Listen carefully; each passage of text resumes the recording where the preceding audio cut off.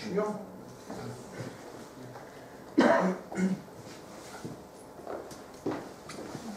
Так, ну, значит, тема, тема безопасности. Значит, для кого, наверное, секрет, что это потенциально опасный вид деятельности. Ну, я надеюсь, что все это осознают, по крайней мере. Вот.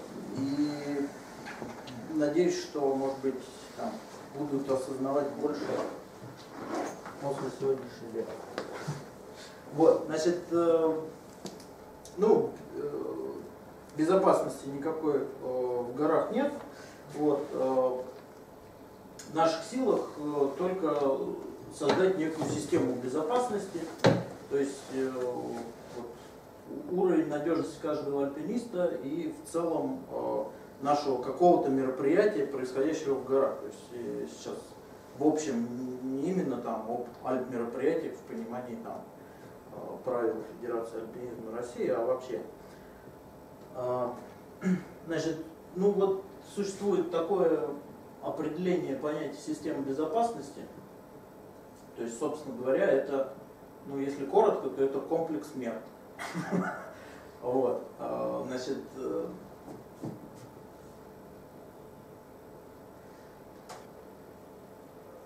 ну, достаточно известная такая, скажем, практика разделения ну, э, опасностей в горах, что они, значит, существуют там объективные и субъективные. Вот. Э, давайте, значит, э, по-другому немножко посмотрим на эту систему. Значит, существуют опасности, которые там можно разделить, вот, ну я там грубо на четыре группы разделил. Вот. А, и существует вот эта наша система безопасности, над которой мы там работаем, ее создаем. И то, что принято обычно называть вот этими субъективными факторами опасности, то есть то, что зависит непосредственно от самого человека, а, это, скажем так, все минусы и а, погрешности системы безопасности, то есть ее слабые а, места. Вот. Значит, что это за э, внешние факторы, то есть вот эти объективные опасности? Э, ну, тоже, в принципе, все, я думаю, ничего принципиально нового ни для кого не будет. То есть это, первое, это рельеф, то есть, собственно говоря, возможность куда-нибудь упасть. Второе, это, значит, ну, я бы вот назвал так, что природа гор, то есть это то, что может на нас упасть. Э, камнепады, лавины, какие-то обвалы, э, в том числе горные реки, сели там, и так далее. Вот. Э, четвертая группа – это опасности, связанные с тем, что собственно, пребывание на большой высоте – это стрессовая, в общем ситуация для организма, непривычная, и Э, само по себе пребывание э, на большой высоте уже э, может быть опасно ну, там, без достаточной акклиматизации, без достаточного уровня там, физической подготовки и так далее. А, и климат, то есть специфические условия гор климатические, ну в том смысле, что у вас в течение дня там может быть и зимний холод, и летняя жара, там, и снег, и лед, и все что угодно, и резко меняется погода, может быть ураганный ветер и так далее.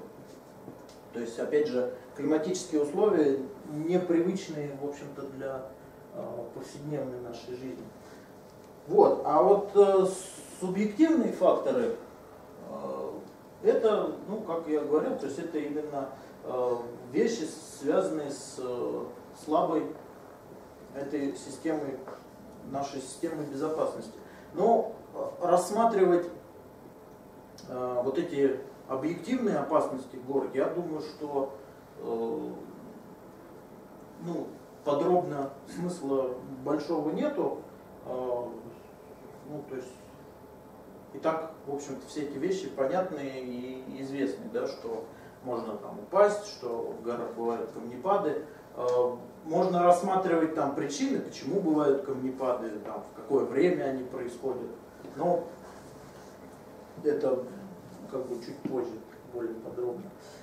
Вот, а, значит, э, чрезвычайные происшествия, которые случаются, никогда не бывают связаны с какой-то одной причиной. То есть, когда э, возникает воздействие какой-то одной единственной причины, обычно все-таки это не приводит непосредственно к чрезвычайному происшествию, потому что какие-то другие вот эти вот элементы нашей системы безопасности, они там позволяют нивелировать ее последствия. А, то есть, э, ну, условно говоря, там а, а, произошло, не знаю, что там, человек э, там технически допустил ошибку какую-то, например, он там остался без страховки. Но его там уровень физической готовности определенный, он ему позволяет э, с этой ситуацией справиться, человек там куда-то там отошел, сделал что-то там, стал опять, попал на, на страховку. Если мы имеем совокупность, то есть человек допустил техническую ошибку, человек физически, не, технически не подготовлен, э, он там не, не, знаю, там, не удержался, не смог, сил не хватило и, например, там сорвался, э, значит, получаем чрезвычайное происшествие. Вот. Значит, э, а говорить о какой-то ну, готовой системе безопасности, что вот она, вот это вот там, по пунктам сделана, все, она существует, она работает, и мы в полной безопасности находимся, естественно, невозможно. То есть это некая э, все-таки не четкая такая структура. То есть э, более правильно говорить о том, что э, чем больше внимания каждому элементу этой системы безопасности мы уделяем, тем выше уровень нашей защищенности, надежности от этих э, внешних факторов опасности. А, вот, значит, э, теперь, э, ну, про правила. То есть, часто там происходит, ну, начинают обсуждать правила в альпинизме, альпинизм спорт или не спорт, и начинают все это, значит, про правила в спорте. Вот, но, то есть отличительная основная черта все-таки альпинизма от любого другого вида спорта, что э, правила в альпинизме это не для того, чтобы там всех уравнять, чтобы все были в одинаковых условиях, а это прежде всего именно вопрос э, безопасности. Хотя и э, в других Э, видах спорта. На самом деле, может быть, это не очевидно на первый взгляд, но очень большое количество правил, они направлены именно на соблюдение безопасности. Ну, к примеру, там э, взять велоспорт, э, там ограничение, минимальное ограничение там массы велосипеда. Ну, казалось бы, там, зачем это? Ну, чтобы все ездили на одинаковых велосипедах и все были в равных условиях.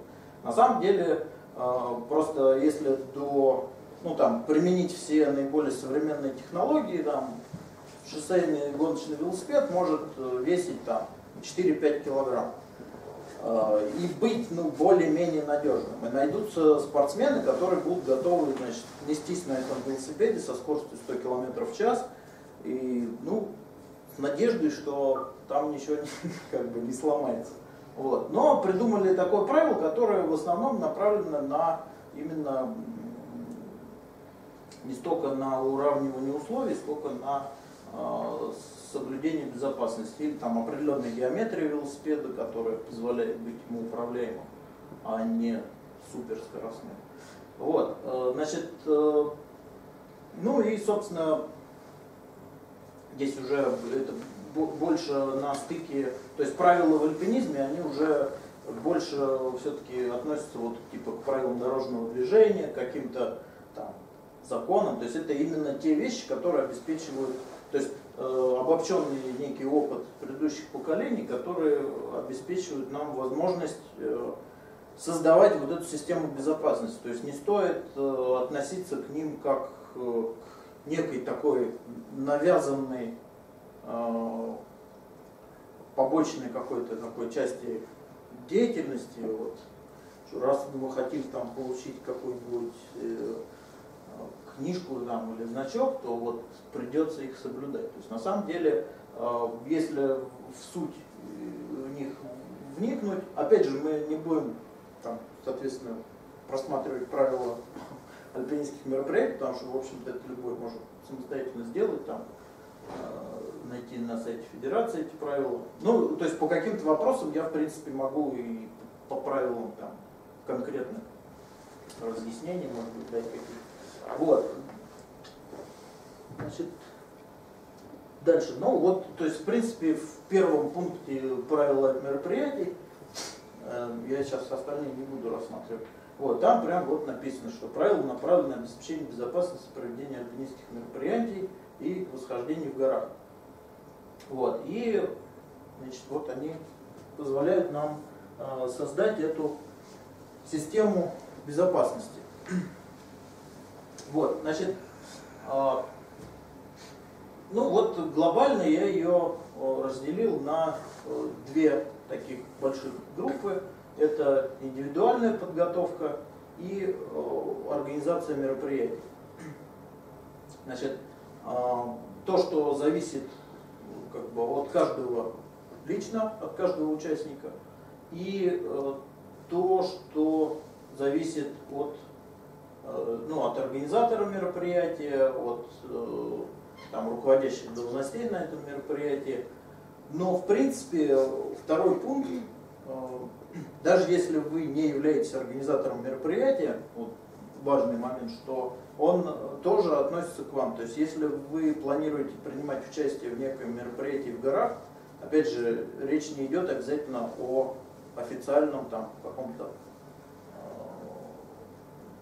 каких-то сборах там э, в рамках фар или соревнований. То есть любое, любая поездка в горы, любое мероприятие – а, в принципе, оно в эти все вещи впишется. И ваша задача, будучи даже простым рядовым участником, в идеале проконтролировать эти вещи, то есть вообще куда вы едете, с кем, что там будет происходить, как это все организовано. Ну вот по пунктам более так, подробно. Значит, Техническая подготовка. Ну, то есть это в первую очередь э, уровень владения конкретными техническими приемами. Под уровнем владения подразумевается то есть то, насколько э, данный технический прием, исполнение его, является именно то, что называется навыком.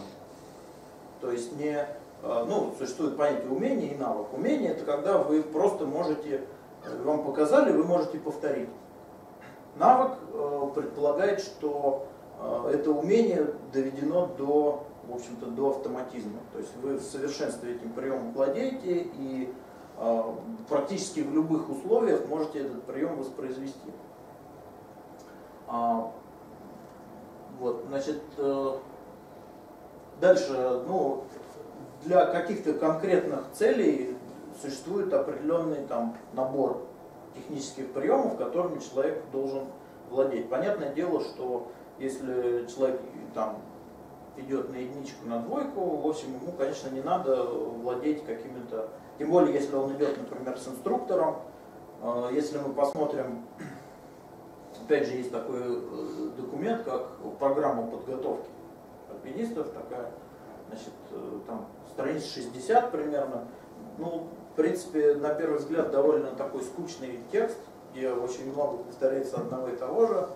Вот. Но, в общем-то, в этой программе более-менее адекватно, но на самом деле другого никакого такого документа альтернативного на сегодняшний день нету.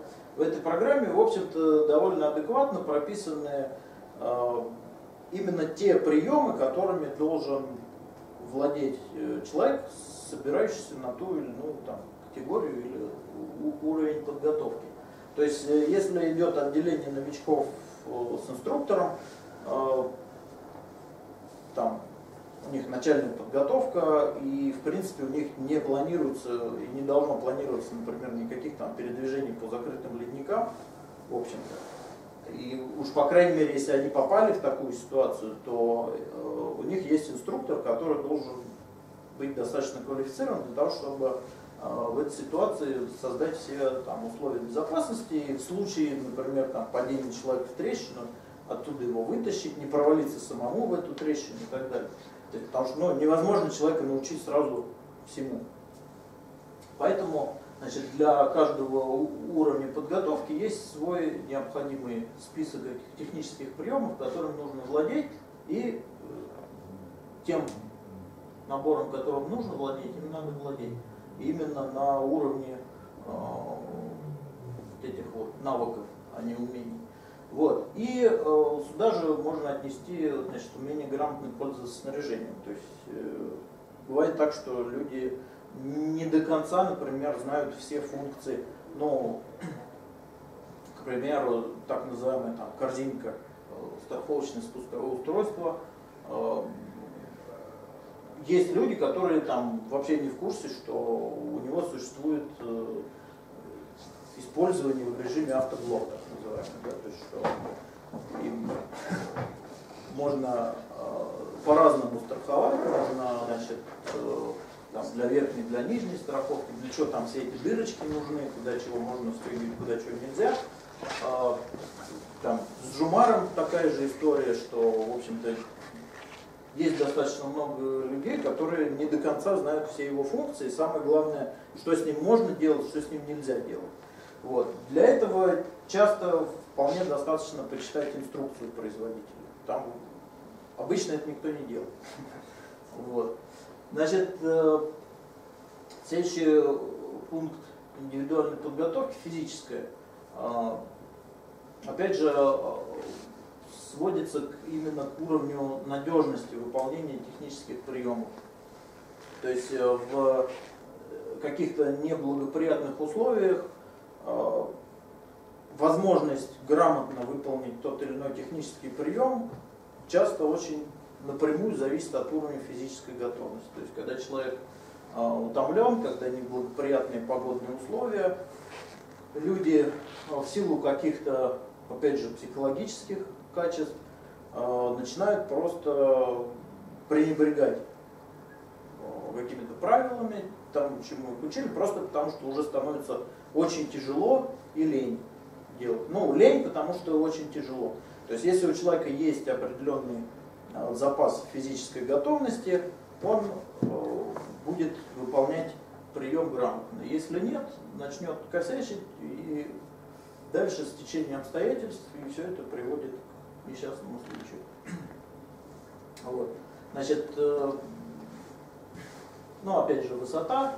Э, то есть можно там сколько угодно говорить, что э, там, люди к высоте там предрасположены или не предрасположены генетически, что на самом деле важна там акклиматизация.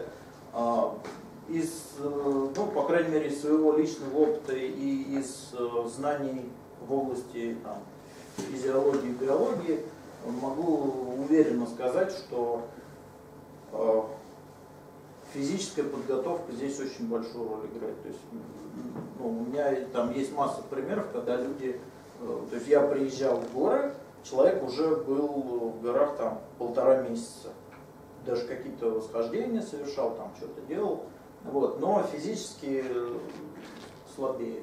Э, и я на второй день э, нахождения в горах там с грузом ну, передвигаюсь быстрее и при этом дышу спокойно, там, человек, вот он полтора месяца в горах находится, но там, отстает, не может груз нести там, и так далее. Поэтому, то есть иллюзий тут не должно быть. Или что там какую-то таблетку можно съесть, там все пройдет.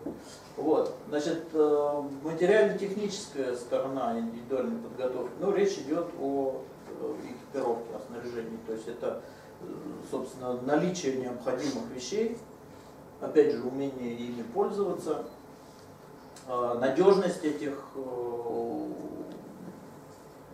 ну, надежность снаряжения, то есть это э, все-таки это снаряжение должно быть каким-то образом сертифицированное, вы должны, ну, то есть там, возвращаясь, опять же, к критериям там, отбора снаряжения, то есть оно должно быть сертифицированное, у него должен быть не истекший срок годности,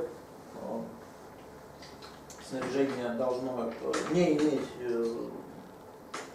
следов повреждения, и вы должны знать историю этого снаряжения. То есть не то, что вы там взяли веревку какую-то, где, которую там кто-то кому-то передал, откуда она вообще взялась, кто там производитель, как она хранилась, ничего про нее не знаете, ну как бы вас удовлетворяет просто, что эта веревка нужного диаметра. А то, что она там от элементарной какой-то нагрузки может просто рассыпаться, или как бы бывает такое, что люди об этом не задумываются. Вот, то есть вы, особенно что касается снаряжения вот, страховочной цепи, а здесь, э, ну, то есть если вы пренебрежительно относитесь к состоянию этого снаряжения, значит вы вот, ну, просто там гигантскую какую-то заслонку вот этой системы безопасности открываете и позволяете этим факторам пробить э, брешь. Психологическая подготовка, ну, безусловно, то есть э, это умение существовать в коллективе, это коммуникабельность, умение там э, где-то на какие-то уступки пойти ради общих интересов. То есть люди, которые все-таки, ну да, существует там соло-альпинизм, мы его не будем рассматривать. Там тоже есть элемент психологической подготовки. Вот, но все-таки если брать э, классический э, альпинизм, то просто человек, который не может вписаться в э, коллектив. Бывает такое, что коллектив странноватый. Конечно. Вот. Но это, опять же, вопрос, э, дальше он будет рассматриваться, это вопрос уже к уровню организации мероприятия. То есть э, состав именно участников. Вот. А вопрос мотивации, то есть человек должен мотивация в каком плане? То есть э, вы должны понимать, э, там, чего вы однозначно хотите, чего вы однозначно не хотите. Если вот что-то происходит, чего вы однозначно не хотите, значит, наверное, ну, не надо этого делать или надо там кого-то остановить. А, то есть не должно быть такого, что ну, с точки зрения безопасности, типа там, а, пойду, поеду, там посмотрим, может там пойдет, может не пойдет, там понравится, не понравится.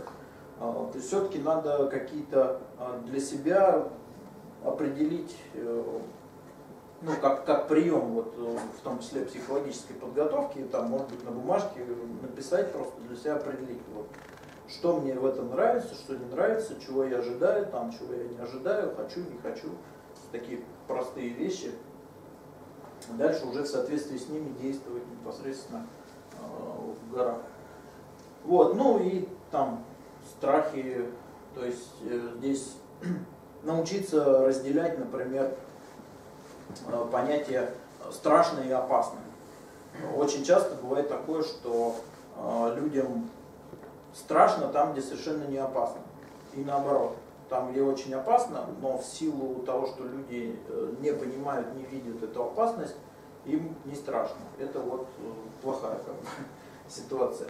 А, ну и бояться там, где как бы безопасно, тоже, соответственно, это, то есть это начинается там лишняя какая-то, ну, страховка, то есть имеется в виду, что значит лишняя страховка, то есть когда, ну, вплоть до того, что люди идут, например, по там, осыпному или травянистому склону, там, крутизной 30 градусов, а, и человек, который, может быть, первый раз там в горах оказался, а там этот склон там километр вниз уходит, а вот, и человеку может быть страшно просто из-за там той глубины, которая внизу, так назовем боязнь там глубины.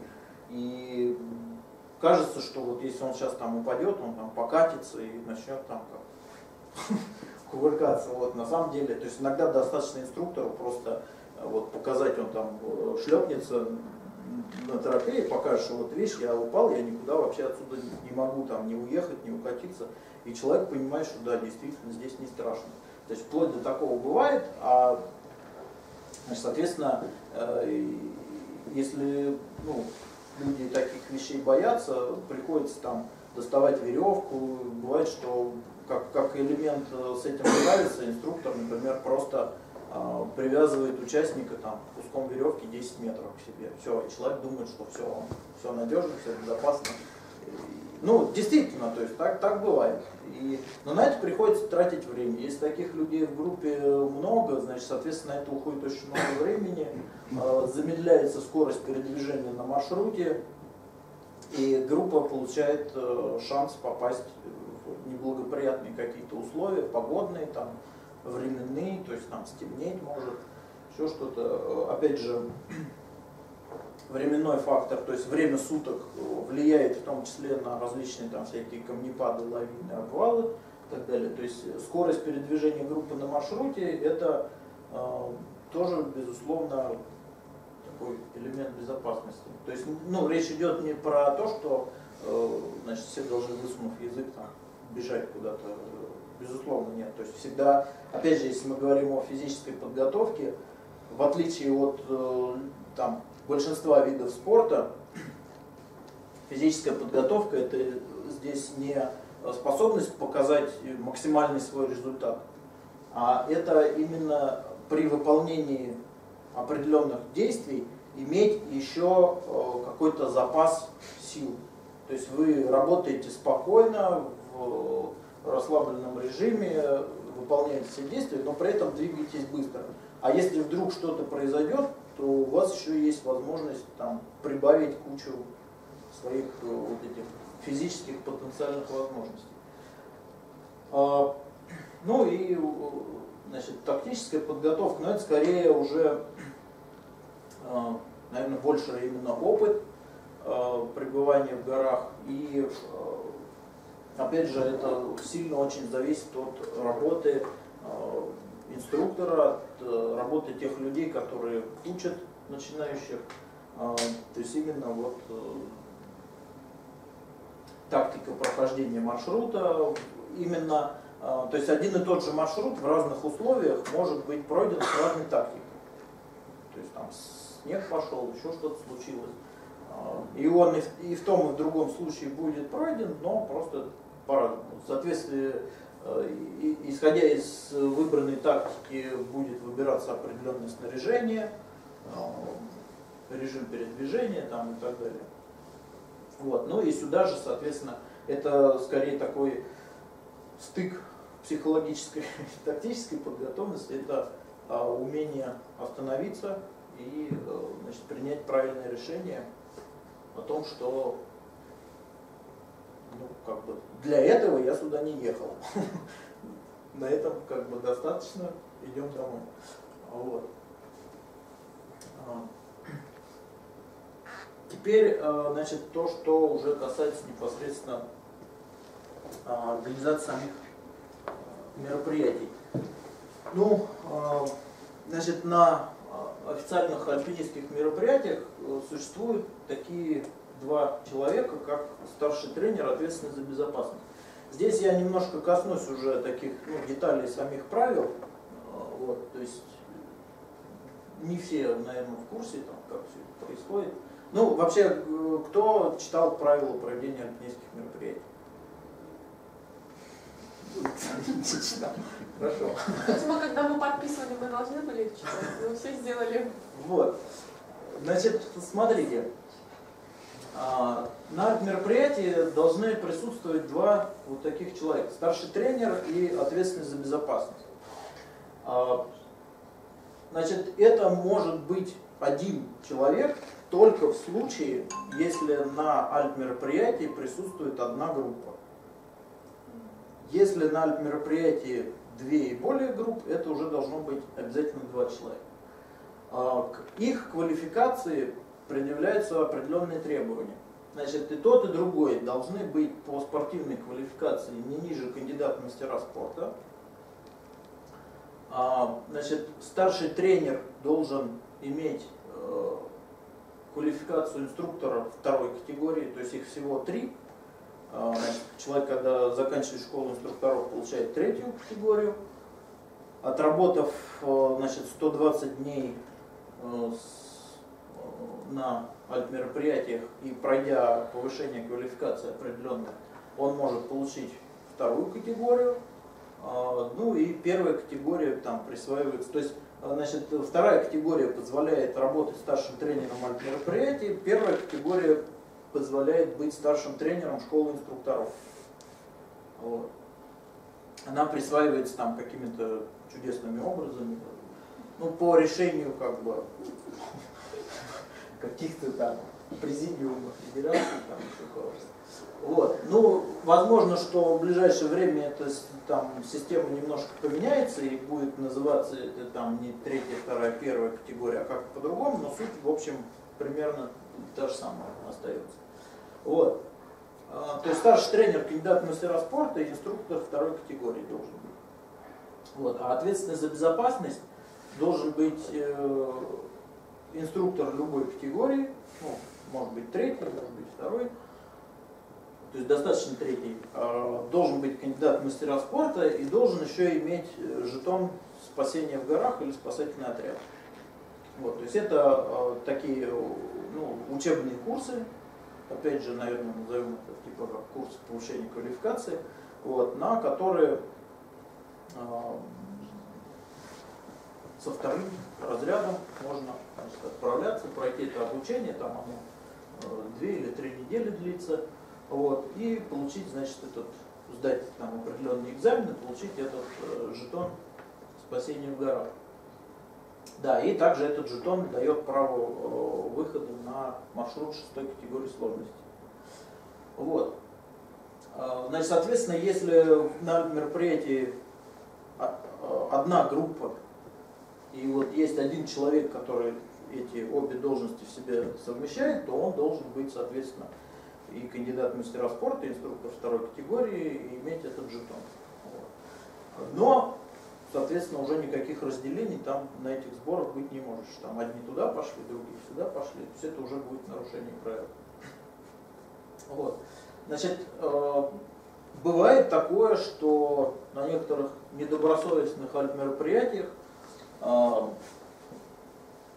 при наличии большого количества групп эти функции выполняет один человек. Бывает такое, что какую-то из этих функций не выполняет никто на сборах. Вот. И значит, бывает такое, что один из них формальный, то есть, грубо говоря, он на бумаге есть, а по факту он находится, например, дома, никуда не поехал. Вот. А, и, значит, э, да, и бывает такое, что эти должности занимают люди, э, не имеющие необходимой квалификации например, УБ там, не имеет жетон в горах, или там, не является кандидатом в мастера спорта. Вот, то есть это все, соответственно, нарушение правил. И с одной стороны, вроде там это как бы формальности, но поверьте, что в общем это все ведет к ослаблению в целом системы безопасности. Вот, то есть а, в чем суть а, как бы наличия двух человек? Выпуск группы на маршрут группа, этот выпуск проходит у двух, и у старшего тренера, и у ответственного за безопасность. У них есть свои задачи при выпуске группы на маршрут. И, скажем, то, что может пропустить, там, не увидеть или допустить один, может не пропустить другой. То есть наличие двух э, как бы, фильтров вот этих, оно повышает уровень, э, соответственно, безопасности и все участники, все группы там, они все, конечно, хотят выйти там на маршрут, и эти два негодяя, они, значит, э, ставят палки в колеса, там, мешают. Вот, но, значит, все-таки, ну, если это адекватные, нормальные люди, то все-таки надо относиться с пониманием их требованиям. Вот, значит, э, дальше инструктора учебных отделений, тренеры спортивных групп. Э, ну, вообще, в принципе, ко всем этим людям э, необходимо, значит, чтобы их квалификация соответствовала занимаемым должностям. Опять же, бывают такие мероприятия, на которых инструкторами учебных отделений работают люди, не имеющие удостоверения инструктора альпиниста, или являющиеся там э, стажерами. То есть человек, когда закончил школу инструкторов, он должен еще э, какое-то время отстажироваться, то есть э, вместе с инструктором в отделении работать и как бы у этого инструктора учиться практической работе с начинающими. Вот. Значит, соответственно, очень часто бывает такое, что стажеры начинают работать как полноценные инструктора сразу. Вот. Такой, ну, скользкий момент. А бывает такое, что вообще просто работают какие-нибудь там старшие разрядники, вот он там инструктор отделения. То есть это, э, в общем, совсем неправильно. Вот. Квалификация, дальше, ну, мотивация этих людей, то есть э, что, что ими движет, почему они туда приехали. Часто бывает такое, что люди, э, ну, им просто нравится как бы тусовка, горы, там, вот, и они, ну, а будучи там инструктором, в принципе, такой неплохой вариант, э, там, за счет участников поехать потусить, там, побыть в горах, вот. Э, соответственно, человек работает таким же образом, да, то есть он как бы к выполнению своих функций уже относится как такой отдыхающий скорее. Вот, то есть желательно здесь э, следить, ну, это задача на самом деле старшего тренера, поскольку это именно его функция, э, выбор инструкторов, то есть состава инструкторов. Вот, то есть желательно э, сделать так, чтобы инструктора отделения это были люди именно у которых есть желание учить, желание работать, желание, а, значит, чтобы их, э, ну, как сказать, воспитанники э, безопасно, надежно, самостоятельно научились ходить в горы. То есть смысл, собственно говоря, работы инструктора – это э, научить человека ходить в горы самостоятельно и надежно, безопасно. Вот. Но, безусловно, какие-то человеческие качества, потому что бывает, что и квалификация соответствующая, и мотивация у человека есть, но, например, э, есть инструктора, довольно регулярно встречаются, которые считают, что значит, женщинам в альпинизме не место. Вот. И значит, э, попадает в отделение там девушка, и инструктор начинает ее там по полной программе гнобить, пытаться списать там. И, ну, хотя человек, он, в общем-то, и технический, там, ну, то есть у него все, что касается индивидуальной подготовки, все вроде соответствует. Ну, инструктор просто решил, что не женское это дело. И, ну, это как пример такой достаточно часто встречающийся. Иногда доходящий до ну, таких неприличных всяких высказываний и так далее. Вот. Соответственно, опять же, задача старшего тренера, задача, ну, есть еще такой человек, как руководитель мероприятия. То есть это тот, к его квалификации на самом деле правила никаких, в общем-то, требований не определяет. Это может быть хоть там значок, новичок, там что угодно. То есть э, это, это может быть группа лиц каких-то, это может быть там юридическое лицо. То есть э, это человек, который, собственно, ну, административные функции выполняет. Вот. А, и вот задача руководителя мероприятия и старшего тренера, собственно, подобрать такой инструкторский состав, чтобы с человеческими качествами там тоже все было нормально. Вот. Ну и опять же бывает такое, что а, то есть все пункты вроде как бы соответствуют, но вот конкретно вот эти вот люди вместе работать не могут. То есть у них начинаются какие-то там терки, непонимания. То есть Э, опять же, это там из э, практики существующей, то есть бывает такое, что есть, э, например, там, старший тренер, инструктор, договариваются, что ну, там, мы там, действуем так-то, так-то, так-то, все, все согласны, да, согласны. Начинается работа, и человек начинает там действовать по-своему, так как там, хочется и нравится ему. Иногда это там просто ну, отсутствие взаимопонимания, но иногда это может привести и к каким-то печального последствия. Вот, значит, что э, касается непосредственно самих функций, вот, ну, а, значит, что старший тренер делает, ну так, я коротко перечислю, значит, осуществляет э, подбор инструкторского состава, э, значит, занимается организацией именно учебно-тренировочного процесса на сборе, то есть э, кто какие должен пройти занятия, в каком количестве, там, у кого какая квалификация, чтобы квалификация участников соответствовала, то есть в отделении, если они там начинают, например, работать на нормы там, второго разряда, соответственно, у них должна быть уже там какая-то определенная квалификация. Вот. И осуществляет э, также ну, взаимодействие между группами, то есть чтобы там, ну, например, есть скальные занятия, там есть ледовые занятия. Есть там на сборах 6-7 отделений, если все в один день пойдут в одно место заниматься на скалы, в общем, там никому места не хватит, толком ничего не получится. То есть это нужно тоже все разводить, регулировать. А, ну, там есть формальные функции, типа там написание отчетов в федерацию. А, да, значит, также старший тренер ведет, собственно говоря, перечень всех, кто куда чего сходил, кому что надо там написать, то есть э, таблицу собственно, совершенных восхождений. Вот. Ну и непосредственно осуществляет э, выпуск на маршрут, то есть соответствие квалификации, э, то, что человек прошел необходимые э, учебно-тренировочные занятия, тактику прохождения маршрута, опять же, проверяет, кто, кто как что планирует. Вот, значит, ответственность за безопасность. Собственно говоря, он должен разъяснить технику безопасности.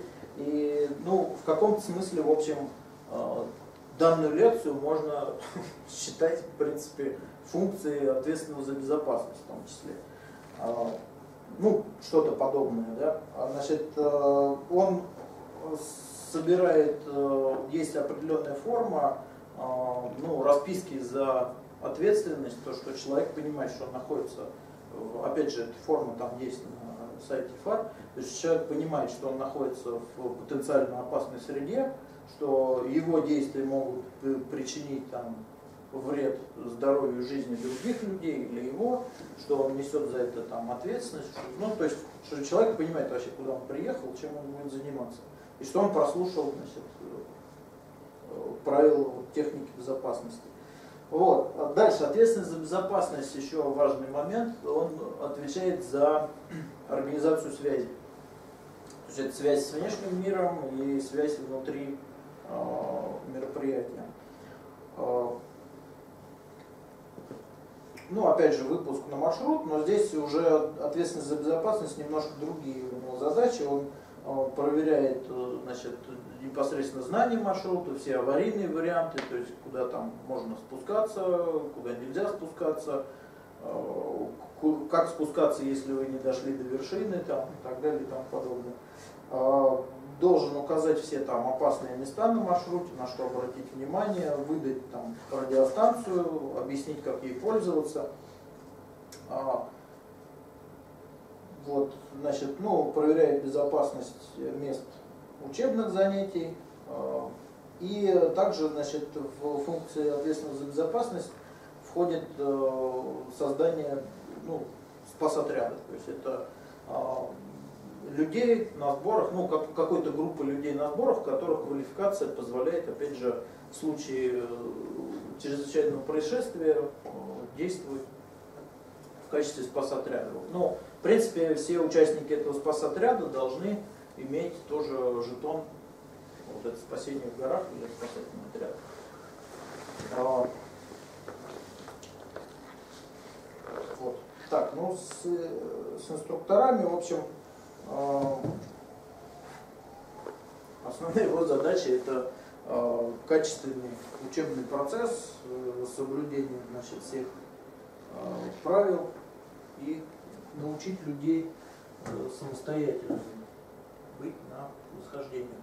Вот, значит, э, это был тренерско-инструкторский состав. Теперь, значит, состав участников. Здесь коротко, но суть вот в чем, что вот уровень индивидуальный, то есть это вот та часть первая про индивидуальную подготовку, должен соответствовать целям и наоборот. Что это значит? Что, то есть люди, они там ставят перед собой какую-то цель. Вот мы хотим э, там, сходить пятерку.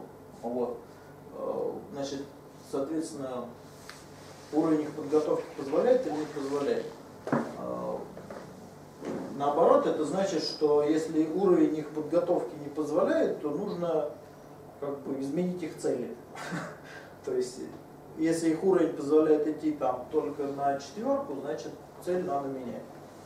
А, вот. Или, значит, э, не на гору идти, а заниматься подготовкой тогда, если они хотят все-таки другую цель. Вот. И, соответственно, а, вот аспект, который раньше я упоминал, то есть это, а, собственно говоря, совместимость вообще участников, их психологические качества. А, на самом деле, для того, чтобы это реально работало, по большому счету это возможно делать только в рамках, наверное, клуба. То есть, когда люди постоянно занимаются, постоянно друг с другом общаются, и, э, безусловно, когда там едут первый раз, все встречаются в горах, но это как бы невозможно избежать. Даже когда а, люди вроде ходят, занимаются, опять же из там, личной практики, а, ну, когда состав участников там 60 человек на сбор, а, так или иначе, но кто-то может оказаться неадекватным, и, ну, то есть не выдавая себя в условиях города, вот, человек приезжает в горы и вдруг то есть в более сложных каких-то бытовых условиях оказывается, что не, все так просто. Вот. Поэтому, но а, если в, рамках круглогодичной подготовки люди все-таки э, проводят технические тренировки совместные, какие-то там походы выходного дня, то, что называется, э, то есть просто вот пошли в лес, там прошли сколько-то километров, поставили бивак, костер, там поели, пошли дальше, то есть здесь уже многие вещи могут проявиться. Особенно там, в плохих погодных условиях каких-то. А вот. А, существуют, соответственно, а, более там какие-то сложные, то есть, ну, можно вот просто так, такой поход выходного дня. Вот. Есть э, более интересные там вещи, типа уже какие-то, ну, а, физически более сложные задачи там ставить. Может быть, э, например, Э, выезд э, там не в большие горы, например, а э, какие-то там сборы в Крыму, например, чисто скальная подготовка, жизнь там в условиях, может быть, там съемной квартиры, машина там, ну то есть в принципе как бы быт такой обычный, привычный, но человек попадая на маршрут, оказываясь значит, в условиях там какого-то стресса, он опять начинает вот эти штуки проявлять, какие-то неожиданные. Вот, то есть это все желательно все-таки до выезда в горы, где вы можете оказаться вообще там, ну, грубо говоря, отрезанными от э, внешнего мира. Вот, желательно это как бы отсеять. Поэтому очень рекомендую именно э, все-таки заниматься где-то в клубе в течение там, определенного промежутка времени с людьми пообщаться, поработать, какие-то общие задачи сложные порешать, физические нагрузки, там, технические и так далее. Вот. Э, ну и, то есть, правило выпуска маршрута, это имеется в виду, что состав э, при выходе на тот или иной маршрут или на какие-то занятия должен соответствовать, э, то есть квалификация этих людей должна соответствовать этим там, занятиям или маршрутам. Вот, значит, средства связи. Значит, здесь, э, то есть не стоит под этим подразумевать только чисто э, радиосвязь там между группами в горах. Вот, имеется в виду и э, ну, в горах далеко не везде, соответственно, работает сотовая связь.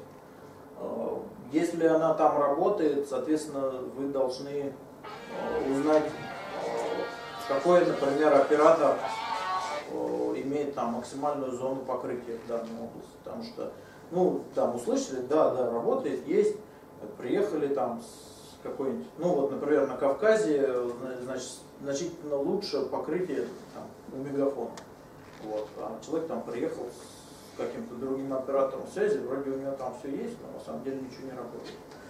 А вот, то есть узнать э, сотовую связь, какая оптимальная в данном месте, если она там вообще. Если ее там нету, э, ну, оптимальный вариант это спутниковая связь. Вот. Что касается спутниковой связи, в принципе сейчас э, существуют э, более-менее доступные варианты аренды э, как, как самих аппаратов, так и значит, сим-карт для них. Ну, скажем так, вот мы проводили сборы летом, у нас аренда сим-карты обошлась, значит, что-то там, ну, то сейчас не вспомню, но порядка 6 тысяч рублей. То есть это вот на, там, на 3-4 недели. Вот. И может быть, на самом деле нет, это я, наверное, ошибаюсь, там 6 с чем-то это вышло, по-моему, вместе с разговорами. Вот, разговоры, то есть у нас там спас работы были, то есть это разговоры включали, ну, то есть это приличное количество разговоров было.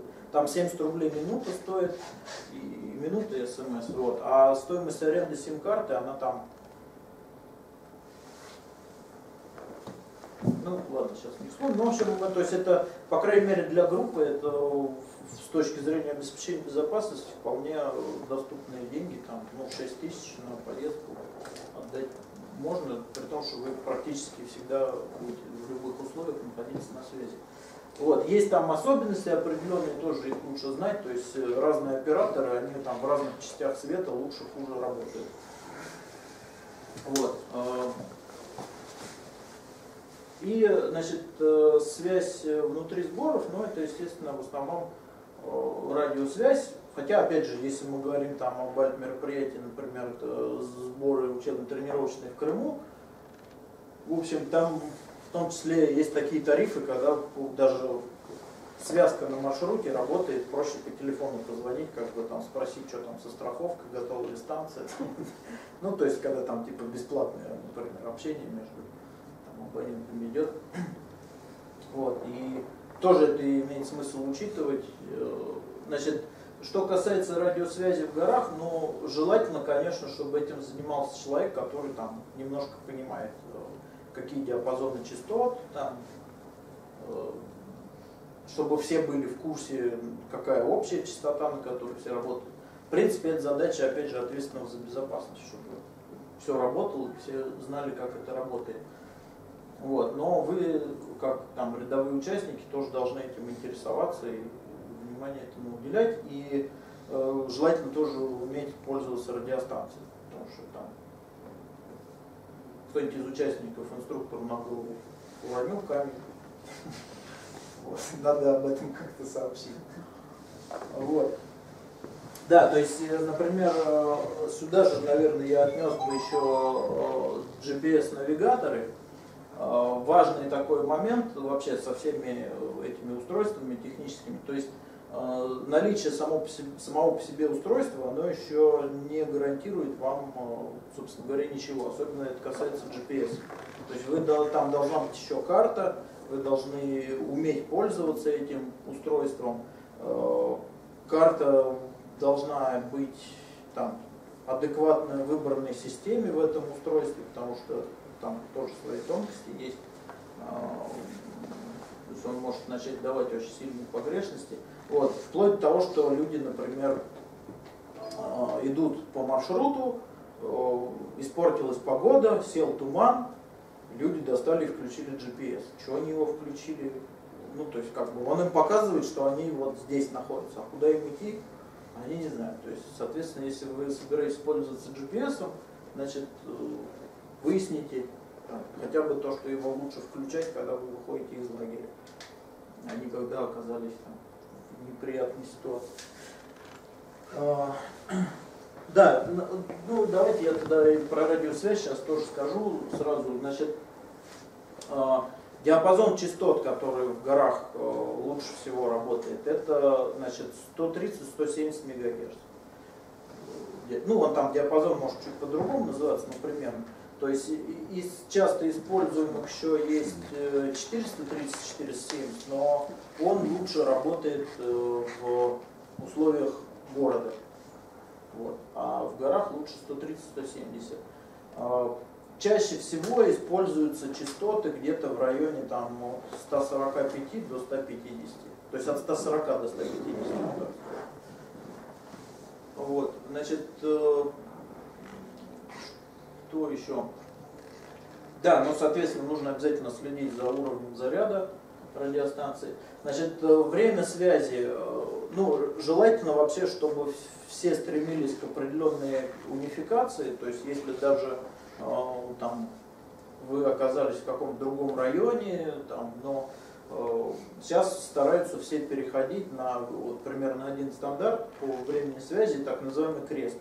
То есть если вы на циферблат часов наложите как бы, крест, получится значит, 9, 12, 15-18. То есть вот каждые 3 часа это стандартное такое время связи, ну как бы на него сейчас потихоньку все стараются переходить.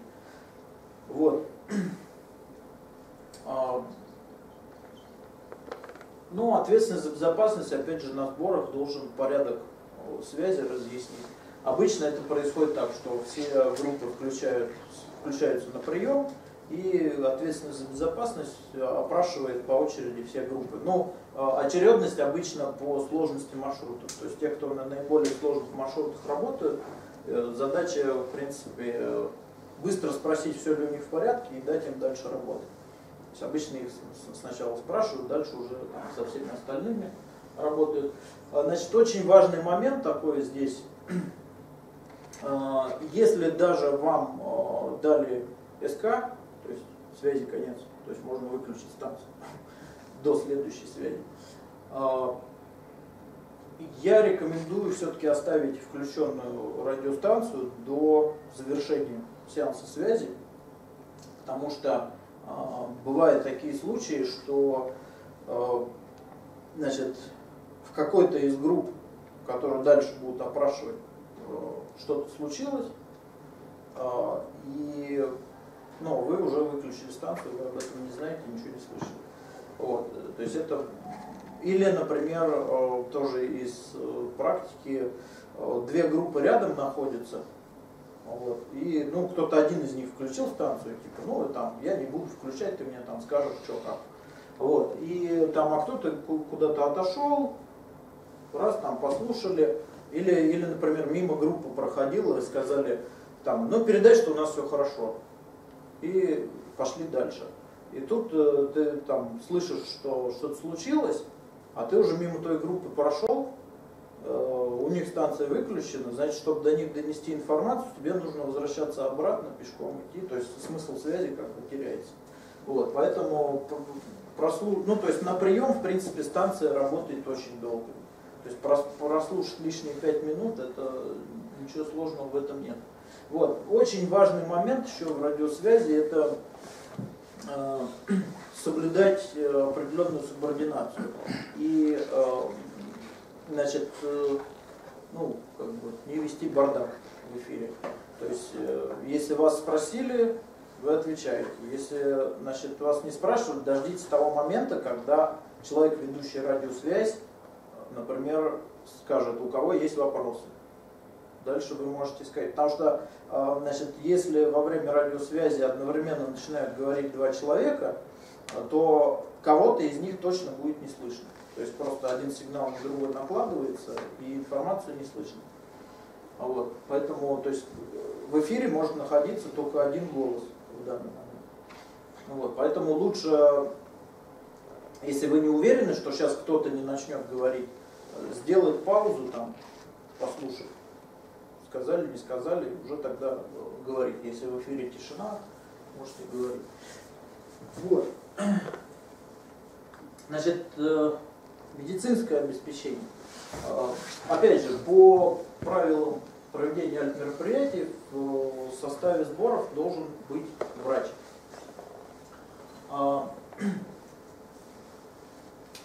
Часто, опять же, это э, к этой должности относится формально, и, в общем, врач это просто человек, который носит аптечку, типа. Вот, но э, все-таки, ну, по крайней мере, вот там у нас в клубе есть возможность, и мы на любых сборах у нас присутствует э, именно профессиональный врач квалифицированный. Э, нам так повезло, что у нас вот врачи э, это там, хирург-травматолог, реаниматолог, еще один э, нейрохирург там был, то есть, ну, люди как бы не там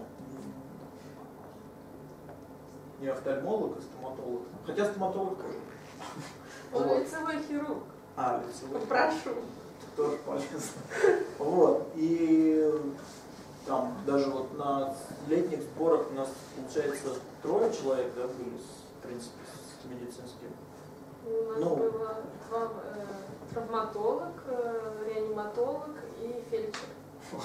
Да, и, значит, в, я знаю, что, например, вот в туристическом клубе Вестра был такой период, не знаю, как сейчас, там давно не общался, вот, но был период, они, значит, специально развешивали объявления о наборе э, новичков, развешивали в медицинских вузах, вот, чтобы привлечь к себе как можно больше врачей. В принципе, это ну, имеет смысл такая практика.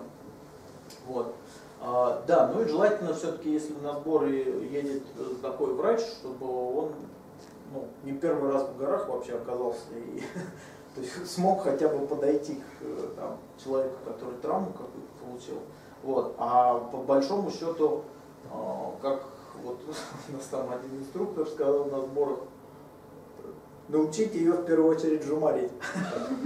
Вот, то есть, в принципе, да, то есть хотя бы человек должен надежно уметь двигаться по перилам. То есть если э, какой-то там несчастный случай произошел на технически сложном маршруте, э, опять же, спасотряд может организовать э, перила, вот, и врач должен ну, хотя бы по этим перилам там, спуститься или подняться, быть в состоянии к, к этому пострадавшему оказать ему помощь.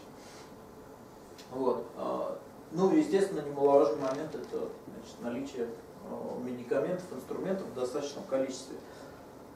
А, На сборах наших э, вот это обычно такой рюкзак весом килограмм 15, в котором, э, значит, помимо всего прочего, есть там и хирургические инструменты, и э, растворы для капельниц, там в объеме, я не знаю, там литров, наверное, 5-6 точно. Вот. Пневмошины там и так далее. Понятное дело, что это вещи во многом там дорогостоящие, но, то есть, опять же, например, клуб в принципе в состоянии себе такое позволить, там какие-то деньги собрать, все это купить и иметь такую аптечку.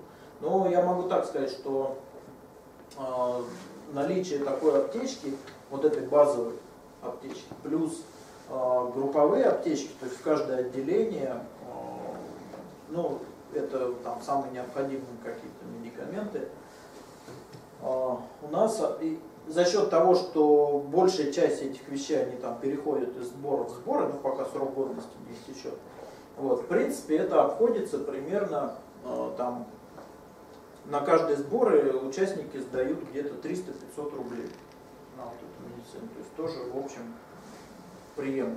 Но опять же, если это там 50 человек на сборы то там по 300 рублей собрать, в общем, нормально можно аптечку купить.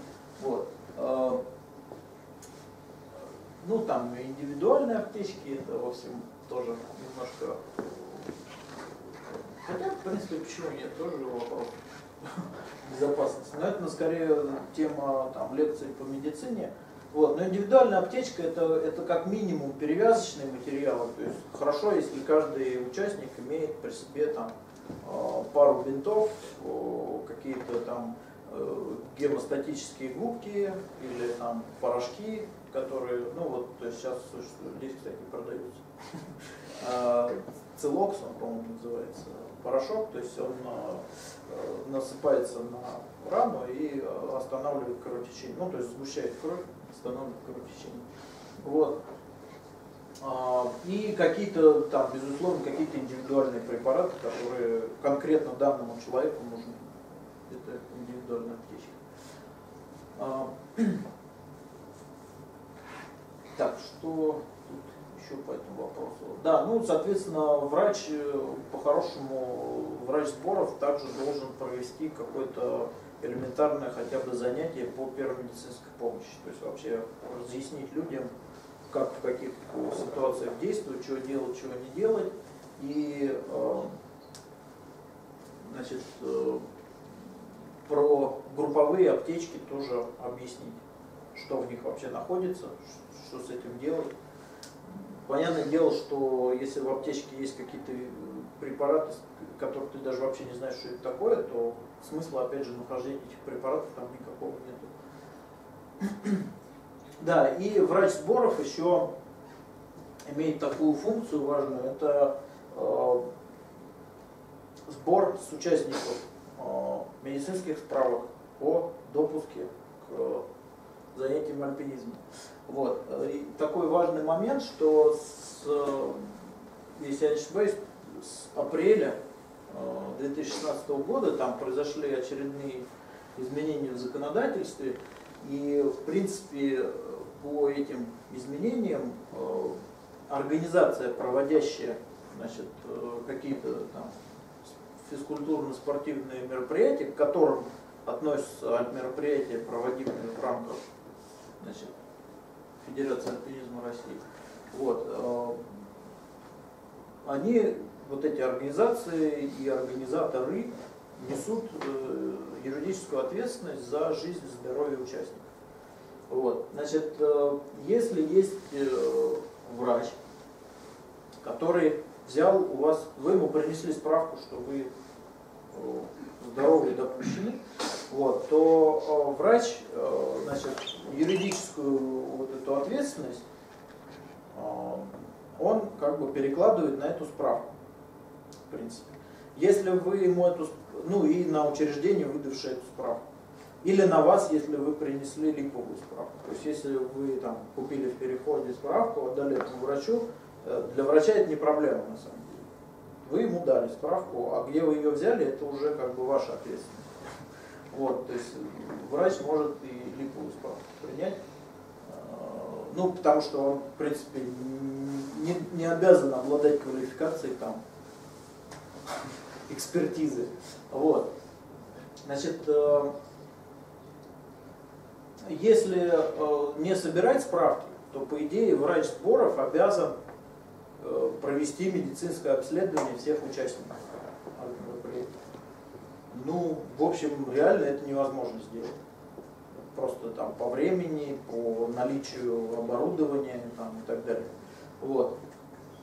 Поэтому, значит, чтобы вот эти все э, соблюсти нормы, значит, по-хорошему надо, конечно, пройти нормальное э, медицинское обследование, диспансеризацию какую-то, хотя бы чтобы ну, какой-то минимальный набор процедур, там, типа ЭКГ в покое, там, э, осмотр врача, как, как, какие-то были сделаны. Лучше, конечно, если это будет все-таки э, не формальное, а какое-то адекватное, нормальное обследование. Там. В идеале э, ЭКГ под нагрузкой сделать, там, чтобы ну, посмотреть именно, как э, сердечно-сосудистая система реагирует на некий диапазон нагрузок, в том числе больших. А вот. А, так, ну ладно. Вот, э, опять же, в правилах э, проведения мероприятий, значит, написано, что все участники этого мероприятия должны иметь э, страховку. Вот. Это действительно, в общем-то, с одной стороны вещь полезная, с другой стороны она может оказаться бесполезной, если вы не, ну, как бы не умеете ей пользоваться. Ну, то есть, во-первых, выбор страховой компании. А, нужно посмотреть, чтобы там у этой страховой компании именно был вид деятельности там, или вид спорта, альпинизм указывают. Но бывает такое, что я сейчас точно не вспомню страховую компанию, но э, тут, ну, не буду говорить, точно не помню. Э, то есть, например, у них оказалось, что вот ты там выбираешь где-то альпинизм, а потом там где-то мелким шрифтом написано, что это там до высоты 2000 метров. Вот такое. И то есть на самом деле потом что-то случилось, а ну как бы там же написано, что же вы не. Да, то есть нужно обязательно подробно посмотреть все правила страхования, за что там положены выплаты, за что не положены. А, выбирая, значит, э, вот этим летом, а, будучи организатором мероприятия, я э, достаточно подробно просмотрел там, ну, основные все страховые компании. Э, в принципе, я две страховых компании нашел, которые более-менее соответствуют вот этим всем вещам. Э, значит, это получилось РЕСа и согласие. Вот. Там, в принципе, разница в цене в общем, то есть согласие подороже, рейсы подешевле. Вот. Э, тоже есть э, такие, да, причем большое значение имеет э, даже не столько сама страховая компания, сколько компания Assist, с которой они работают. И причем именно в данном регионе. То есть мы, например, ездили в Киргизию, и у компании Реса, там, у них в Европе может быть один ассист, там, а в Киргизии совершенно другой. А, желательно это выяснить, потому что есть, э, опять же, ряд вот этих недобросовестных, недобросовестных компаний ассист, которые да, плохо выполняют свои функции. И, значит, э, причем тоже момент такой забавный получился, мягко говоря а, когда я общался со страховой компанией, меня назвали одного ассиста. А, когда при возникновении страхового случая я позвонил по номеру, указанному в полисе, мне ответила другая компания ассист.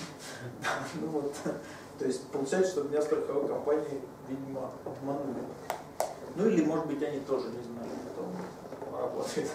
Вот. Но, то есть, вот эти вещи тоже надо э, выяснять. И э, хорошо бы еще у страховой компании, ну там, с человеком, с которым там будете общаться, попытаться хотя бы выяснить какие-то вопросы, ну, задавать, чтобы он примерно вообще понимал, чем вы едете и куда заниматься. То есть там спросить, а вот если там, э, вот я буду там где-то, куда может долететь только вертолет, вот я сломал ногу, что вы будете делать?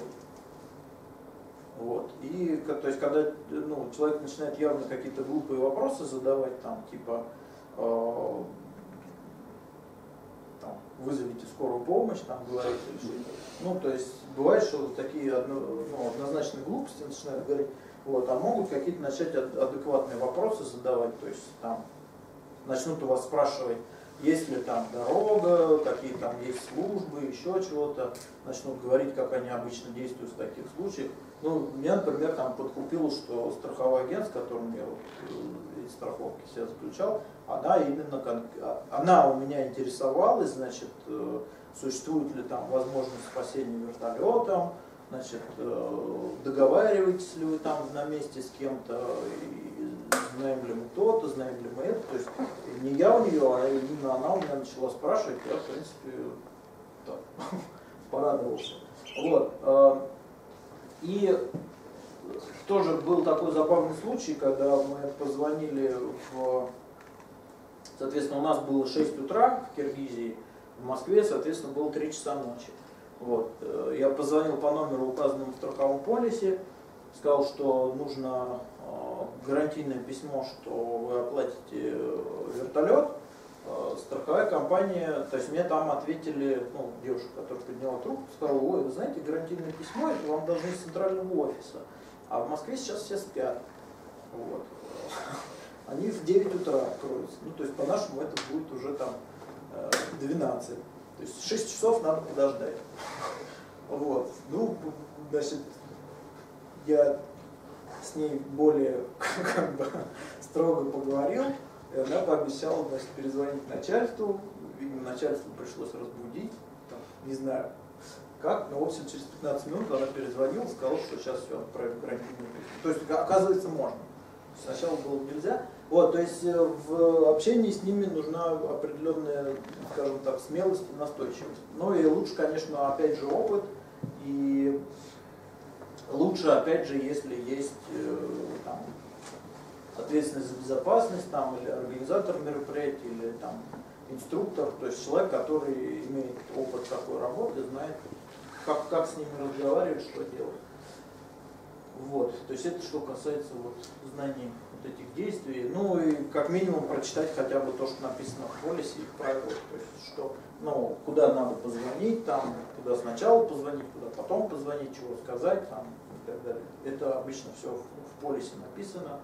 А, ну и иметь с собой хотя бы этот полис, там, в том числе, ну, то есть, опять же, иметь спутниковый телефон и не иметь телефон, написанный на полисе, ну, бессмысленно. Да? Желательно иметь еще несколько копий, а не бегать потом между пострадавшими. Ну, да. да. Ну, то есть мы, например, э, в, поскольку конкретно вот в ЛРЧ организации, в принципе, вертолета занимается в основном там, компания Oxide Travel, то мы просто вот у них оставили копии всех полисов в офисе прям. Поэтому то есть я позвонил, сказал там, фамилию просто назвал, они нашли там. И дальше уже они как бы работали по вопросу там страховой компании, вертолета. А, вот. Ну и, собственно говоря, вот задачи, которые Э, ну, это на самом деле этот список я формулировал как э, там скорее как внутриклубные какие-то задачи по повышению ну, уровня обеспечения безопасности. Вот. Но, наверное, они подойдут всем. То есть первое, это, конечно, вот, стараться уровень индивидуальной подготовки привести в соответствие с целями и наоборот.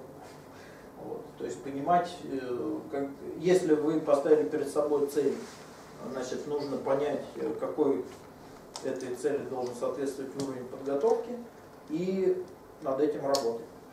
Вот. Если вы видите, что у вас не получается над этим работать, и, значит нужно менять цель.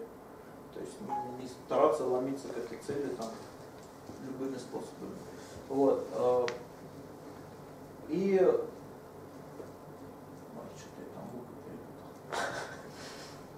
Значит, уровень организации самих э, мероприятий, то есть это требования к инструкторско-тренерскому составу, составу участников, соблюдение правил, медицинское сопровождение, связь, страхование. А, да, значит, вот взаимодействие с организациями, обеспечивающими спасательные операции и группами в районе.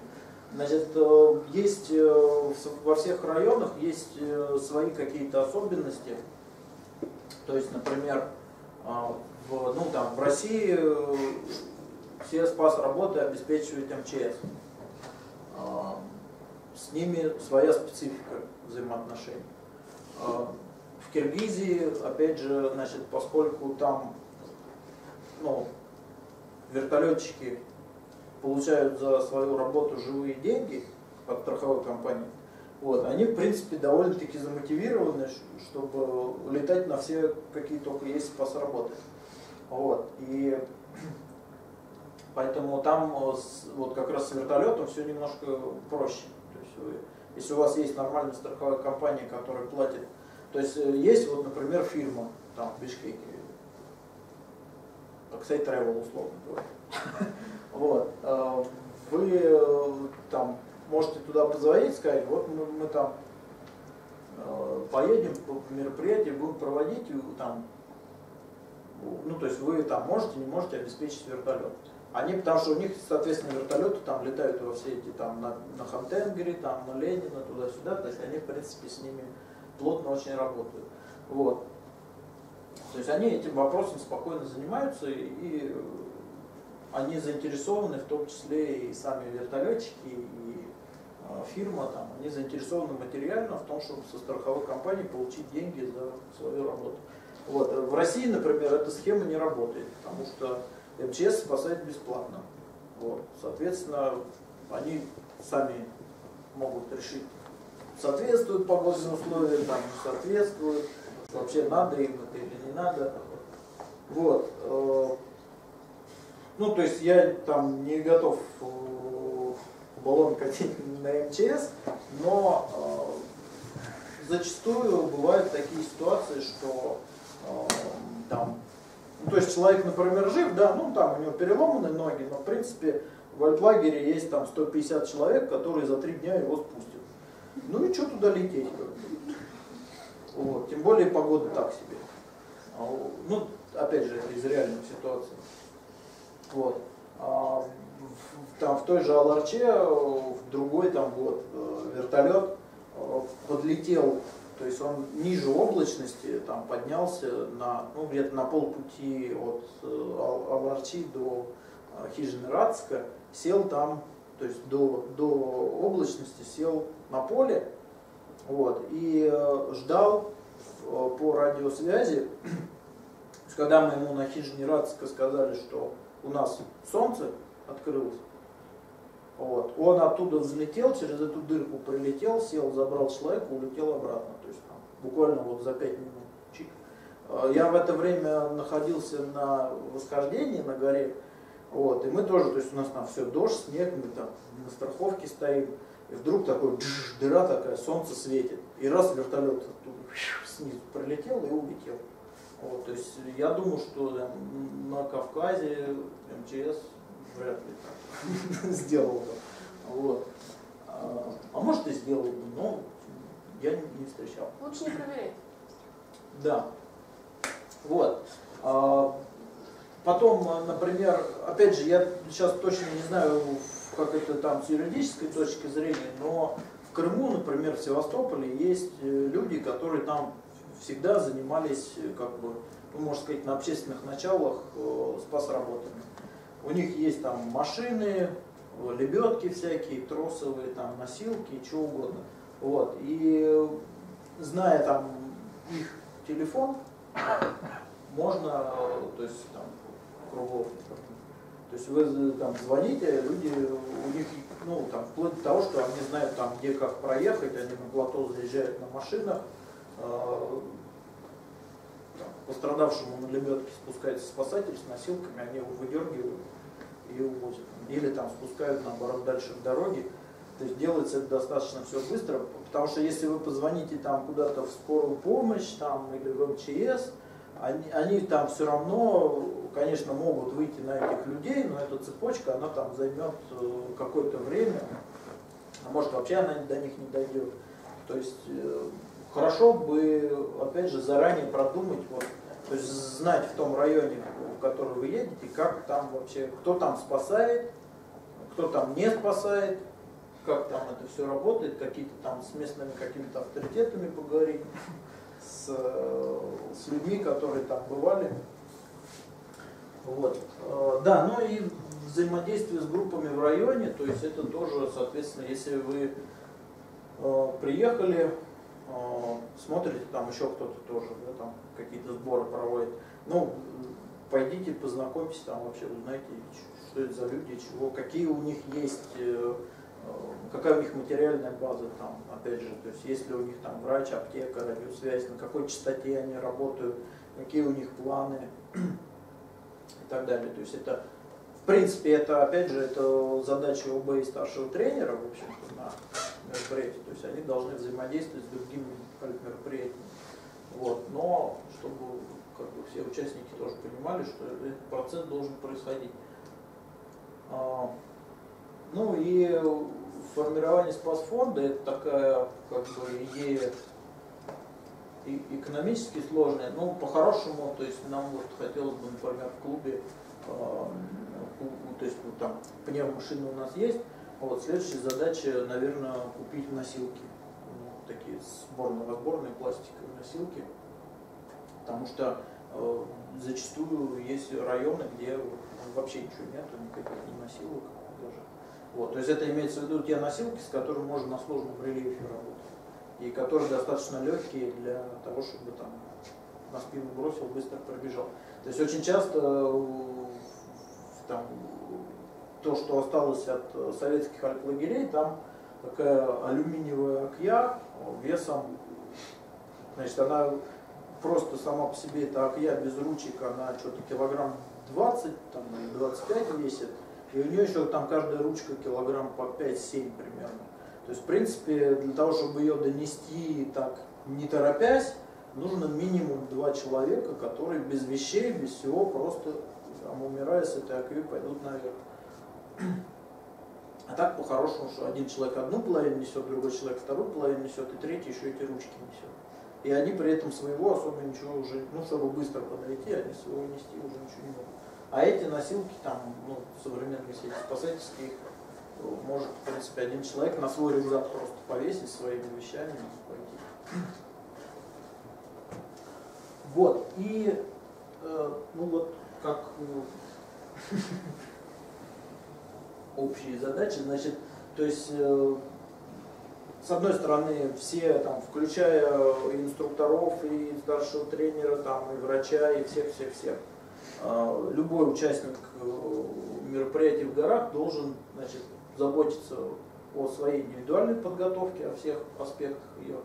Вот. И, ну, конечно, без маниакального фанатизма, но стараться участвовать в общих вопросах организационных. То есть, по крайней мере, понимать, что кто этим вопросом, то есть вот, ну, те, те, которые я освещал, то есть кто этим вопросом занимается. Занимается ли вообще кто-то на вашем мероприятии, кто этим занимается, какова его квалификация, вот, там, и так далее. Да, ну, то есть, с одной стороны, конечно, вы всем этим будете очень сильно надоедать тем, кто этими вопросами занимается, вот. С другой стороны, у вас, в принципе, нет другой возможности понять, на каком уровне все, все это происходит. Вот. Сейчас я попробую. Но на самом деле, помимо э, самих правил э, мероприятий, мы вот еще э, в клубе у нас стараемся ну, такую разработать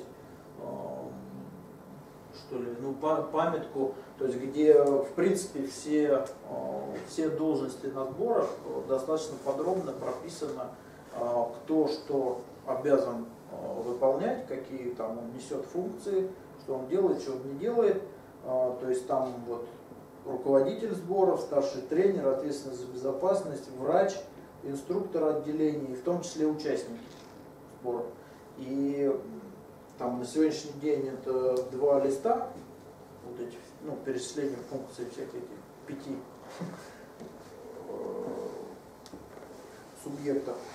Вот. А, ну, по-хорошему, то есть мы должны, например, сделать так, что люди, э, мы там инструкторов вот, всех собираем, и люди знакомятся с этим списком, говорят, да, я, я согласен работать на этом уровне, по этим правилам, а, и тогда, да, там человек едет. Или э, там инструктор говорит, да ну вас нафиг, я что, я буду все эти правила соблюдать, там, э, ну, не буду я слушать старшего тренера, я сам знаю, что там должны участники делать, что не делать.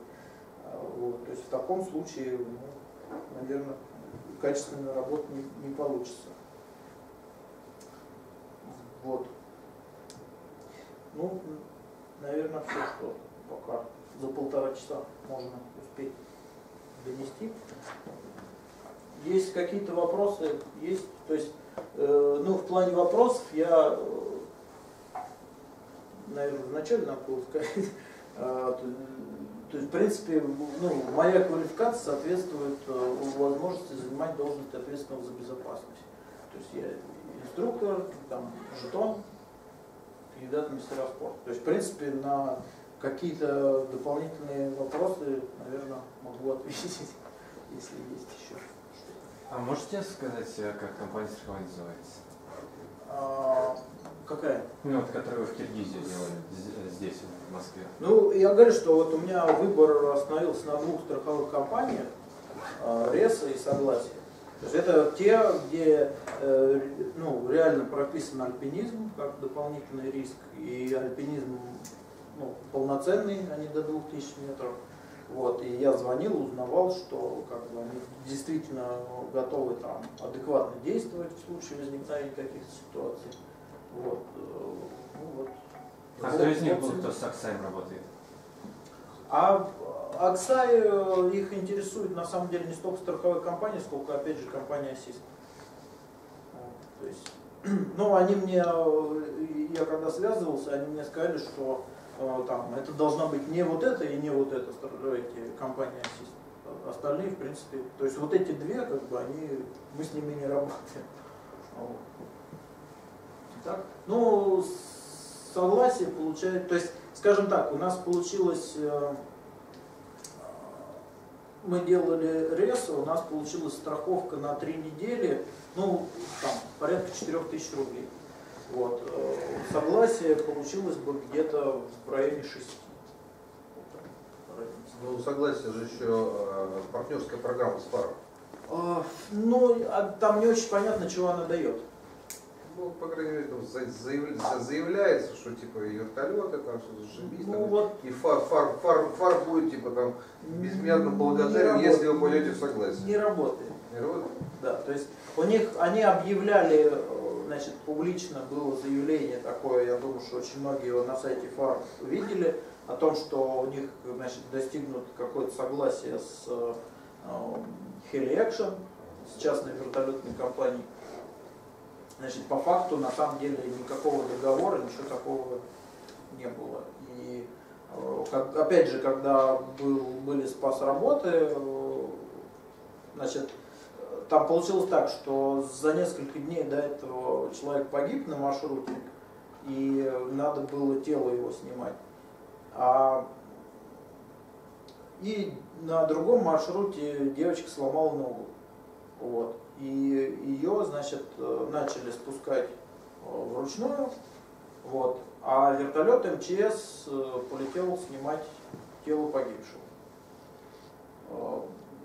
Вот. Когда мы, значит, пытались понять, почему же не летит Action, хотя там девушка была застрахована в компании Согласие, вот, ну там разные были гипотезы, то есть одна заключалась в том, что у Action все пилоты куда-то уехали учиться в данный момент. Вот. А другая гипотеза заключалась в том, что Значит, поскольку разрешение на вылеты в любом случае дает диспетчер, то есть не может сам, сама компания Action взять и полететь, вот, то просто диспетчер им все время говорил, что готовится к вылету борт МЧС, коридор занят. Поэтому у нас все немножко сложнее.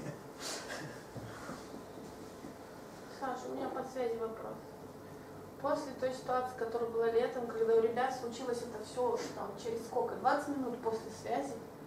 Да, Не поменяли систему, что А, теперь Значит, есть ва- да, важный, важный момент. Смотрите, значит, вот эти вот про э, связь каждые три часа.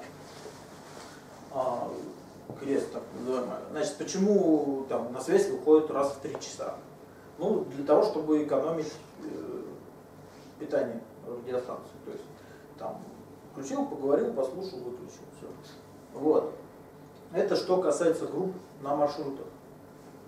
А в большинстве случаев на базе, где находится там, ответственность за безопасность, который ведет радиосвязь, все-таки существует э, какое-то электричество, хотя бы генератор, вот, А, позволяющий по большому счету э, иметь э, радиостанцию ну, там, круглосуточно на приеме. То есть э, радиостанция, два аккумулятора, один в радиостанции, другой на зарядке стоит. Постоянно их меняет. Вот, э, значит, ситуация такая получилась, что значит, была в 9 утра радиосвязь, все нормально. В 12 утра радиосвязь, э, группа выходит, говорит, что у них там в 10 часов человек сорвался, получил травму. Вот, то есть, э, если группа знает, что база постоянно на приеме, они, соответственно, достали из радиостанцию, включили сообщение. То есть, ну, грубо говоря, то, то есть получилось там потеря 2 часа по времени. В принципе, серьезный такой промежуток времени. Поэтому вот э, рекомендация такая, что базовая станция там, старшего тренера или ответственного за безопасность э, постоянно должна находиться на приеме. Если ограниченная электроэнергия, ну, бывает такое, что, ну, например, там сломался генератор, или его вообще нету, и это какие-то экспедиционные там, сборы такие. Э, этот самый старший тренер или ответственный, ну там ответственный за безопасность, по сути дела, должен связь вести. А, например, можно так договориться, что он э, каждый час на 5 минут включает радиостанцию. То есть там с, э, в 9 штатная связь, с 10.00 до 10.05 прослушивание. То есть все группы знают, что в это время можно передать информацию. В принципе, это там совсем незначительно добавит расход электроэнергии. Вот. То есть, да, такой вот важный момент. Спасибо. Ну, мы это уже приняли. Да. Станции по радио по мощности ограничены чем-то, Да, насколько я знаю законодательством, да? А, ну, по практике, законодательство. по практике да нет. Есть это вопрос, э, наверное, там, аккумуляторов. И, ну, я, я там в технические подробности радиостанции как бы не, сильно углублялся. Вот. Но сейчас есть довольно интересные там предложения по радиостанциям, то есть они до- достаточно компактные, там недорогие и надежные. Не помнишь, как называлась фирма, то, что Никита привозил? То, что я привозил, а Никита носил. Баофенг, двухканалка. Да. У нее есть э, маленький аккумулятор, который идет в комплекте. Он сутки держит, а большой держит до трех. Да, ну, то есть вот станции, причем они, это, ну, это китайские. А если еще заменить, две с половиной тысячи цена, если еще заменить антенну, будет лучше. Да, то есть мы вот очень порадовались, как они работают, достаточно долго и сигнал хороший, и ра- радиостанции компактные, не тяжелые. В принципе, нареканий, в общем-то, не было на их работу.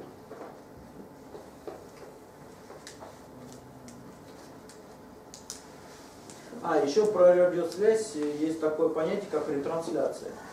То есть э, есть, э, скажем, база, которая там всех по очереди вызывает. А, И группа находится в, ну, скажем так, вне зоны э, доступа радиосвязи базовой станции. Вот. Но группу слышит какая-то из других групп, находящихся в районе. Вот. И э, то есть этот человек, то есть вы, опять же, почему тоже, кстати, желательно не выключаться до конца связи, даже если вам искали. А, Этот, э, ну, база может не слышать группу, вы ее слышите. Вы, соответственно, передаете базе информацию, что вы группу эту слышите и можете ретранслировать. И, соответственно, передаете все, что спрашивает база, и передаете базе все, что отвечает группа.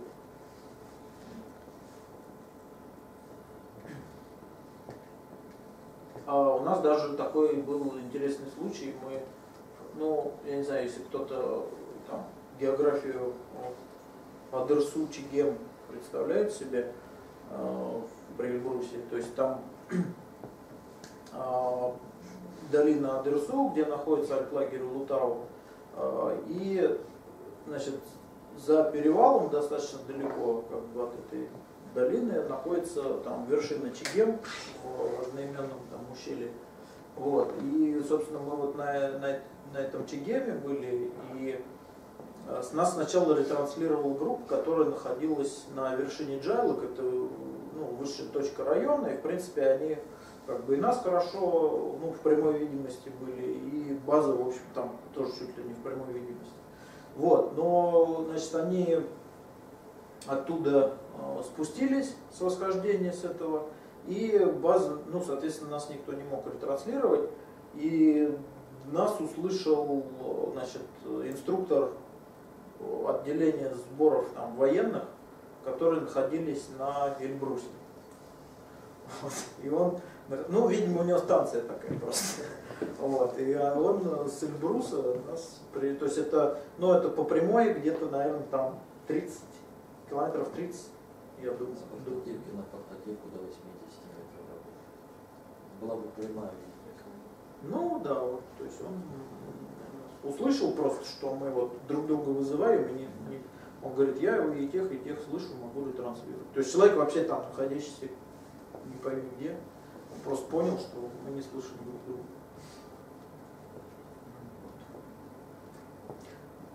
Ну, если еще какие вопросы.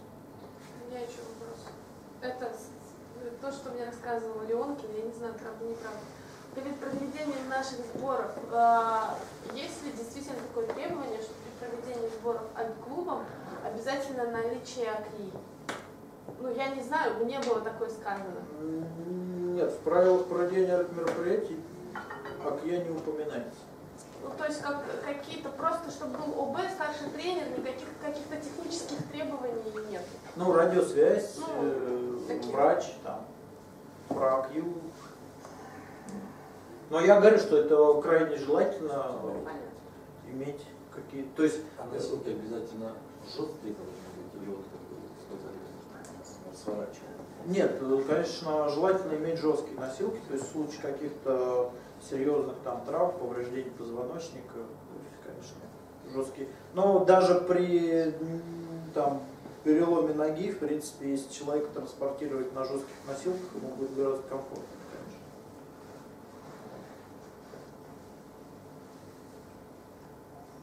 Так, что еще сказать?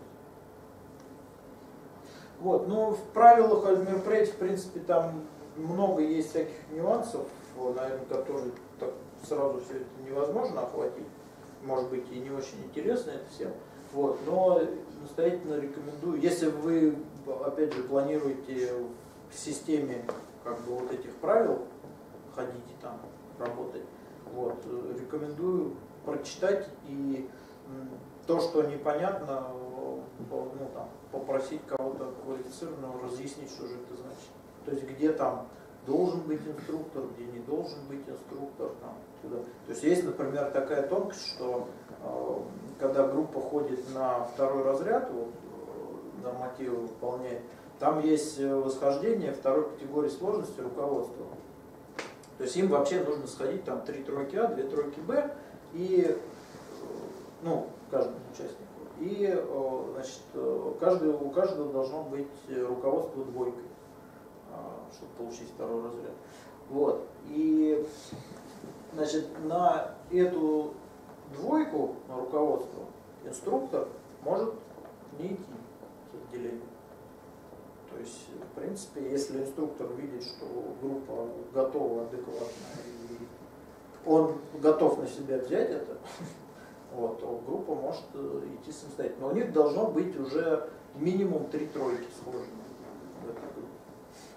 Вот, такие вот есть детали. То есть, э, но при этом э, инструктор в составе альт мероприятия и приписанный к этому отделению должен быть. Опять же, в качестве напри- ну, такого примера у нас вот ребята поехали, они там ну, несколько человек со вторым разрядом и один человек, которому руководства до этого второго разряда не хватает. И говорит, а вот мы с ним, мы его с собой возьмем, и, э, вот, и мы сходим как раз двойкой откроемся, и все, у него будет второй разряд, и мы дальше ходим с- самостоятельно группой. Ну, да, все классно, но как бы его на это восхождение в качестве руководителя должен выпустить инструктор его отделения. То есть у них на это отделение, на это восхождение в любом случае должен быть инструктор. Это раз.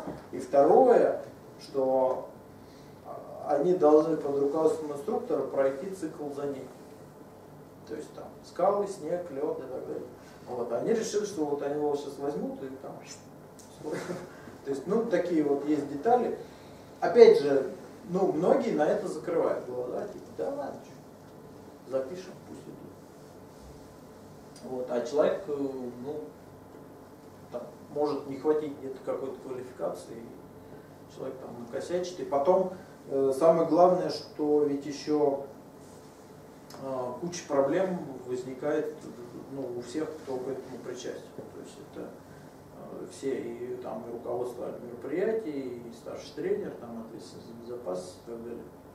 Вот, то есть все эти люди должны понимать, что они за, эти вещи, в общем-то, какую-то, ну, как минимум дисциплинарную ответственность несут. Вот. А есть э, пункты, по которым, в принципе, и там, вплоть до уголовной ответственности. То есть там некоторые действия инструкторов подпадают под э, статью оказание некачественных услуг, повлекшие по неосторожности смерть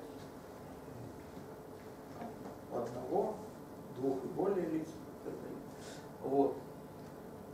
То есть, ну, скажем так, напрямую там, может быть, и неоднозначно, но э, запросто при, припаять все это можно при желании. Там, тех, тех, кто это дело ведет.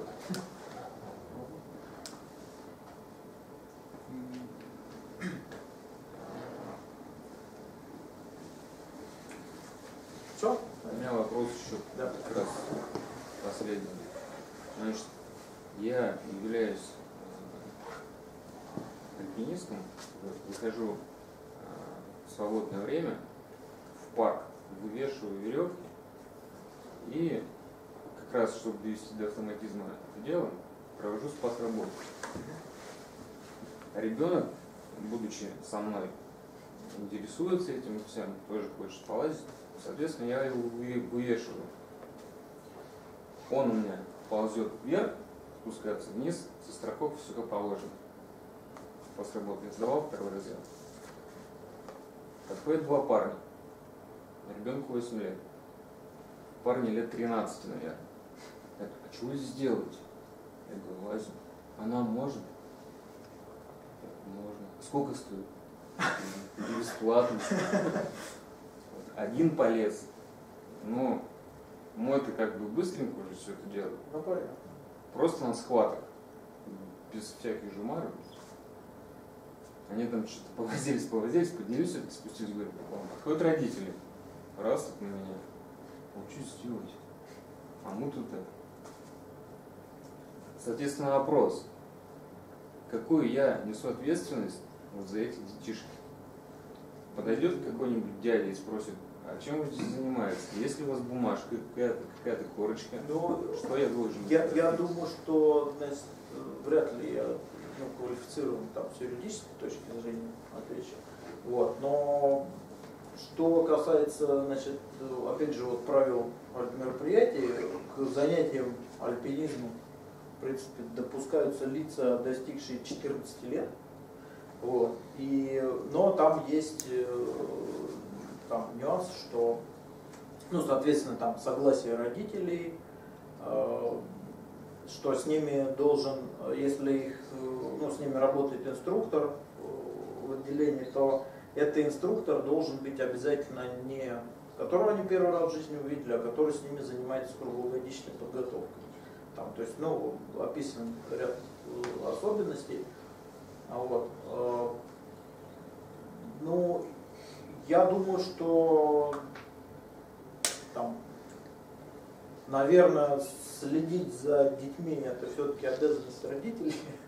Ну да, я просто с, с, Куда они пошли безопасности, потому что а, инструктора я не имею, да, никакой корочки у меня нет. Не, а тут Есть еще вот в чем есть нюанс такой, что э, человек, который имеет удостоверение инструктора, то есть он прошел некую подготовку и в принципе заявляет, что он обладает квалификацией и способен учить, он э, несет гораздо больше ответственности, чем человек, который никакого удостоверения не имеет и стал кого-то чему-то учить. А что, да я не знаю, что-то мимо проходили, кто-то куда-то там что-то. На этом сейчас пользуюсь. Вот, то есть, в принципе, то есть инструктор гораздо, гораздо более такой опасной ситуации в этом плане находится, чем человек Просто я меньше как раз вот э, по поводу вот этих введений в апреле, то, что с практикой медицинской, что начали закрываться вот эти детские, секции. да. С чем? Ну, Почему? может быть, и они уже давно закрываются в связи с тем, что все больше и больше справок, журналов и так далее. Ну, то есть это как бы напрямую связано, да, получается? Ну, там вплоть до того, что там в любой, э, то есть детский поход какой-то там выходного дня, э, там да, тоже должен быть врач. Не медсестра, а там врач должен в лес пойти с детьми в поход. То есть не только справка нужна, но еще и врач. Ну, там какие-то, да, есть такие м, странные вещи. но